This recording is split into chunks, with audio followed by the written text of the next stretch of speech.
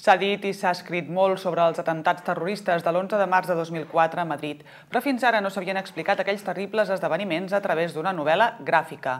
Els guionistes Antoni Giral i Pepe Galvez i el dibuixant Joan Mundet l'han presentada aquesta setmana a la Biblioteca Josep Soler Vidal. A partir de la sentència de l'Audiència Nacional sobre aquests fets, els tres autors han fet un treball en què es narra una història molt dura a través del còmic. El pròleg és de Pilar Manjón, la presidenta de l'Associació d'Afectats pel Terrorisme.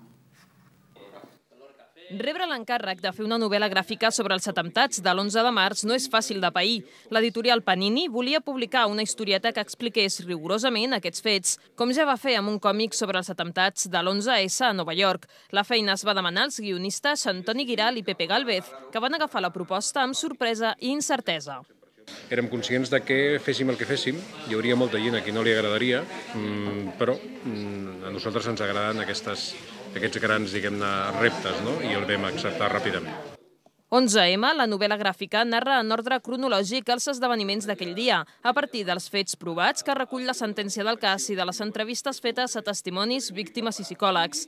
De fet, gran part dels diàlegs són paraules recollides als entrevistats. El que sí és ficció són els tres personatges principals, un periodista, el familiar d'una víctima i un policia. Tant els guionistes com el dibuixant, Joan Mundet, han intentat no acostar-se massa a la història ni involucrar-se emocionalment, per tal que el lector pugui extreure les seves pròpies opinions dels fets. He intentat fer-ho molt amb algo de distància i molt fredament, perquè tots són, són, són dades que es van posant i que t'expliquen la història. Els únics llocs que hi ha una mica més de primers planos i una mica més d'intenció dramàtica és en els flashbacks dels personatges. I tot això explicat sota el nom de novel·la gràfica, un mitjà d'expressió de moda i un concepte que està millor considerat que el còmic, tot i que en realitat són el mateix. El llibre adapta aquest nom per no donar lloc a malentesos, ja que el còmic encara és considerat per una gran part de la població com un format per explicar historietes infantils.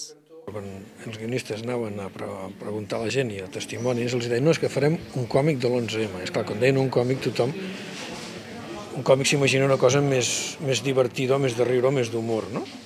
I llavors dius, no, perquè és clar, els còmics es fan obres que estan molt bé, que han guanyat el Premi Pulitzer, etc etc.